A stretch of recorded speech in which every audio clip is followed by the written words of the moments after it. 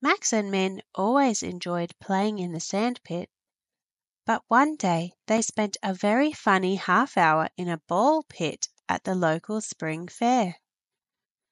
They were amazed at how easy it was to move amongst the large plastic balls, and how much air space there was between them all, in that large box they were in. Back at home a little later, the twins were telling their mum all about it. "Well, it's just like this box of apples here," she was saying.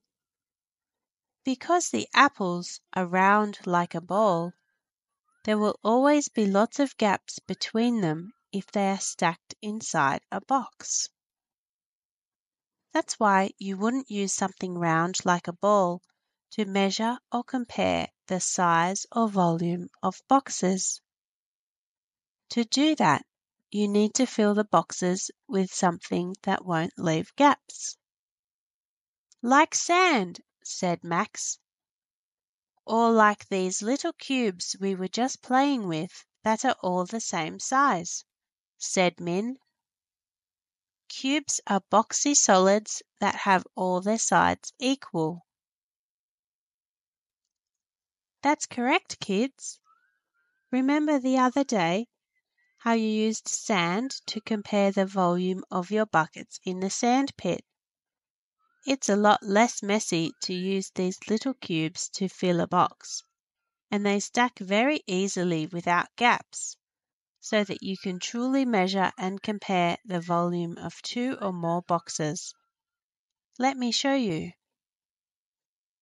Their mum got two small empty boxes, put them on the table, and started filling one with some little blue cubes, stacking them carefully inside the box without any gaps until the box was full. "Okay," she said, "this box took five rows of five cubes, which is twenty five cubes to fill the bottom. Then it took four more layers of 25 cubes to fill the box to the top. So that is five layers of 25 cubes altogether, which is 125 little blue cubes to fill this box. She then got some little multicolored cubes and, in the same way, without gaps in between, filled the second box to the top. This thinner, taller second box, she said, took three rows of three cubes, which is nine cubes, to fill the bottom.